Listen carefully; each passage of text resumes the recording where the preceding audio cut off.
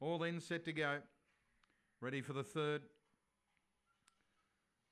Racing, Sade West began well, then copped the bump off, dropped the leash, and going hard, blistering Betty outside, winning broker, the joint leaders early.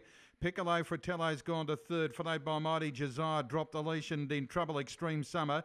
Around it, Sade West and Stevie D, the tail ender. Winning broke, took off down the back, raced about six in front, now over blistering Betty. Mighty Jazar, Sade West dropped the leash, and Piccolo Fratello. Then Extreme Summer and Stevie D, but around the turn, winning broke, shooting for a hat trick here, is going to run right away, and winning broke's a brilliant winner. Sade West ran on well to grab second, an eye-catching run. Then Mighty Jazar followed by Blistering Betty, and further back would have been Drop the Leash, Piccolo Fratello, Extreme Summer, and Stevie D in 29.85.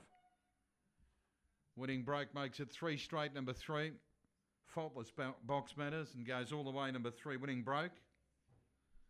Sade West began well, copped the whack earlier, stuck on really well after doing work in the run. Good effort second, and third Mighty Jazar, number one in front of eight blistering Betty. Three, four, one. Eight's fourth. Five, sixteen, nineteen dead. Twenty-nine, eighty-six the run. Home in ten, eighty-six. Four and a quarter by a half length. Three, four, one, eight. Three, four, one, eight. Five, sixteen, nineteen dead. Twenty-nine, eighty-six the run. Three, four, one, eight. Four and a quarter by a half length. Four and a quarter by a half. And a win there to the Glen Rounds train winning break makes it three straight. The son of Kinloch Brae